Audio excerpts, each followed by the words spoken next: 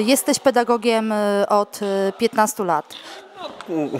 Może tak, prowadzę zajęcia od lat 12, tańczę od 17, no, ale, ale e, jeśli chodzi o hip-hop jako taki, to właściwie tak mocno zacząłem się tym zajmować od takich 6-7 lat, kiedy poznałem ludzi, którzy, którzy jakby stworzyli ten styl. No, i, i, i, i- właściwie większość styli ulicznych, nie tylko, nie tylko sam hip-hop, ale styl, są twórcami albo jednymi z takich no, pierwszych tancerzy, którzy byli zrzeszeni wokół tego wokół tego ruchu.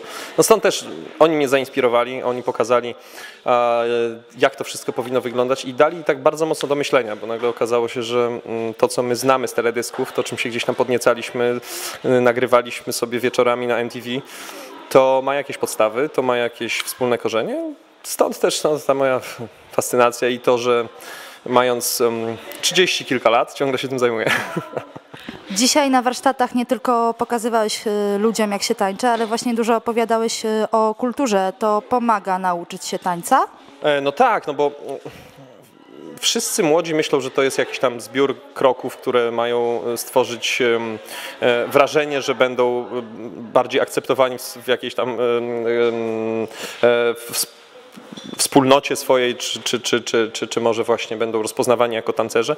A tak prawdę mówiąc, jak człowiek zacznie myśleć o tym, co robi, dlaczego robi i, i, i- skąd to się wzięło i, i jakie były ewolucje jakichś tam określonych rzeczy, no to daje mu to dwie, dwie, dwie, dwie ogromne korzyści, jak dla mnie. Pierwsza to jest to, jest to że e, widzimy, że nie uczymy się pewnego tylko stylu bycia i życia, ale uczymy się pewnej kultury, która jest obecna na rynku, obecna od wielu, wielu lat i przypuszczam, że e, jeżeli ktoś zrozumie to, że to jest coś, co właściwie nawet może mieć do 100 albo i więcej lat, to nie potraktuje tego jako modę, tylko potraktuje tego, to jako konkretną jakąś tam wiedzę. No, ma Czy ludzie, z którymi pracujesz na antenie You Can Dance, którzy przychodzą, którym robisz choreografię, mają tą świadomość tej kultury tańca? No y, i tak i nie oczywiście, no bo w, niestety w Polsce mamy jeszcze do czynienia z taką sytuacją, w której, w której y, młodzież bardzo rzadko specjalizuje się w wielu technikach. Rzadko kto zaczyna się uczyć tańca w wieku, nie wiem, 5-6 lat, przechodzi cały drill związany z tańcem klasycznym, tańcem jazzowym, bądź tańcem towarzyskim, prawda, potem wybiera swoją jakąś tam drogę, czy to jest droga tańca towarzyskiego, tak jak mówię, czy droga tańca nowoczesnego, czy droga, nie wiem, tańców ludowych, cokolwiek, prawda.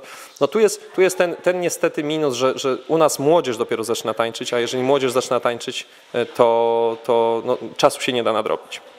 E, Oczywiście niektórzy z nich są już rozpoznawani jako tam jakieś gwiazdy turniejów i, i tak dalej, ale, ale, e, ale no, nie mogę powiedzieć, żeby oni wszyscy żyli a, a przynajmniej nie przesiąknięci są tak tą kulturą hip-hopową e, i, i, i na pewno nie, nie dążą do tego, żeby jak najwięcej się o tym dowiedzieć, przynajmniej na samym początku, jak ich się poznaje.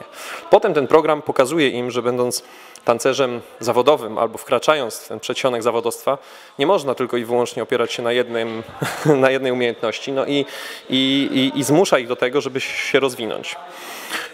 Zmusza ich do tego, żeby w jakiś sposób nadrobić w ciągu tego krótkiego okresu, jakim są te trzy miesiące w programie, nadrobić czas, który, który stracili jakby mając te lat 6, 8 i tak dalej.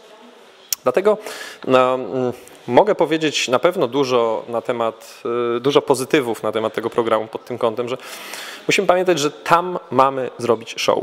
To ma się podobać, to ma być atrakcyjne wizualnie, ładnie wyglądać w kamerze. To jest swego rodzaju reality show, tak? Reality show to nie jest życie, życie wygląda trochę inaczej, e, ale y, na pewno staramy się też pokazać to, że taniec jest rzeczą, która może być dostępna dla wszystkich.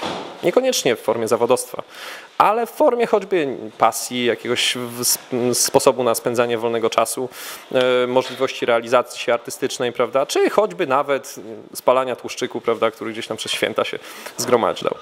Patrząc na tą grupę, z którą miałeś y, do czynienia dzisiaj, bo to jest grupa bardzo mocno początkująca, jak myślisz, będą z nich tancerze? No to jest tak, niektórzy, y, znaczy wszyscy są strasznie ambitni, a czasami ambicja przeszkadza w robieniu postępów, no bo człowiek się blokuje i nie może niestety tutaj troszeczkę rozwinąć swoich skrzydeł. Y, to jest zawsze ciężko powiedzieć, czy to będą tancerze, czy nie. Tych ludzi na pewno widać, że mają serce, chcą coś zrobić. Na pewno widać, że niektóry, niektórzy żyją i czują muzykę, niektórzy mają z tym jeszcze kłopoty. E, Na pewno widać, że trzeba dużo koordynacyjnych ćwiczeń z nimi wykonywać, żeby ten, te ruchy hip-hopowe jakoś tam prawda, wyglądały tak, żeby na, na to dało się patrzeć, ale, ale no, o tym, czy oni będą tancerzami, czy nie, będzie można powiedzieć po, po, po roku, po dwóch. Dlatego tutaj jest zawsze no, taki problem. Jeździ, jeździmy na turnieje, jeździmy na mistrzostwa. E, Poddajemy się ocenie ludzi, którzy czasem są specjalistami wysokich lotów, czasami w ogóle nie wiedzą o czym, o czym mowa. Czasem dzieci się zrażają, no bo myślimy tymi kategoriami właśnie wygram, przegram, będę mistrzem Polski, będę tam, nie wiem, mistrzem tańca w prawo. To, to naprawdę nie ma znaczenia chyba. Ma znaczenie ma to, kiedy ktoś ma frajdę z tego, co robi, kiedy, kiedy jakoś się tam doskonali, kiedy się rozwija. No, nie trzeba być aktorem, a można czytać poezję, prawda, i mieć z tego naprawdę przyjemność. Dlatego, no, albo, albo, dobra, lądujmy, tak, jak się człowiek chce napić piwa, nie musi kupować browaru.